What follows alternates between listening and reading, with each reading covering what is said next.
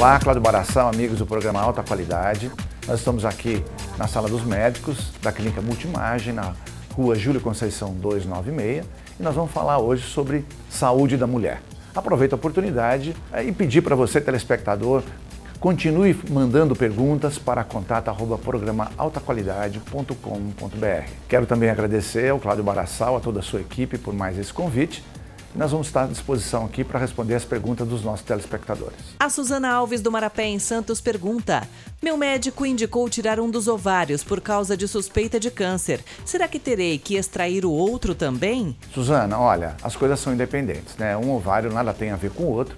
Se a suspeita é de uma lesão tumoral em um dos ovários, basta que se retire este ovário, o outro ovário será poupado e fará certamente as funções do outro ovário também. Certamente você pode ter uma vida normal, independentemente de tomar hormônios, que seria o caso se você tirasse os dois ovários. A Carla Francisca do Centro de São Vicente pergunta: O câncer de mama pode ser contagioso, doutor? O meu marido fala que é. Carla, é, o câncer de mama não é contagioso. Então, é, não pode haver uma confusão entre contaminação e hereditariedade. Né? Então, por exemplo, a mãe teve um tumor, a irmã da mãe, a avó materna, então você tem um risco maior de ter tumor. Isso é relativo a risco de ter um tumor e não risco de contaminar pelo tumor. O Sérgio Mendonça da Biquinha em São Vicente quer saber: Doutor, minha esposa se queixa de nódulos nas mamas. Quais os fatores que podem levar ao câncer? Sérgio, olha, nódulo de mama é relativamente comum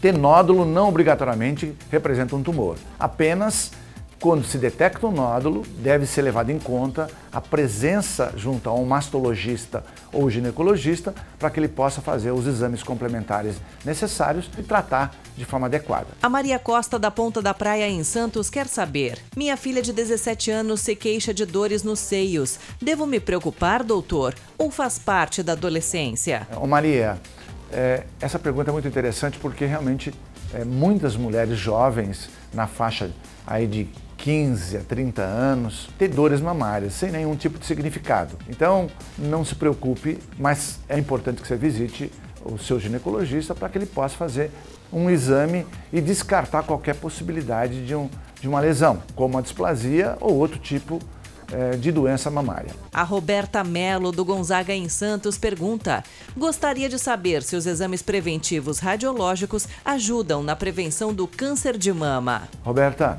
olha, eu não diria para você que é, os exames radiológicos é, ajudam a prevenir o tumor. A, a origem tumoral ela não é possível de ser impedida pelo exame radiológico. Mas uma vez que você faz um diagnóstico precoce, as suas chances de cura, no caso de ser um tumor maligno, é extremamente alta. Queria agradecer novamente ao Cláudio Barassal por mais esse convite, a toda a sua equipe, muito gentil. Agradecer você, telespectador, que nos brinda com a sua audiência. E eu falo isso muito abertamente porque enquanto pessoas na rua e comentam sobre o programa, a gente fica feliz então em dar esse retorno para você. Por isso, continue enviando pergunta para contato programa. Fiquem com Deus. Até o próximo programa.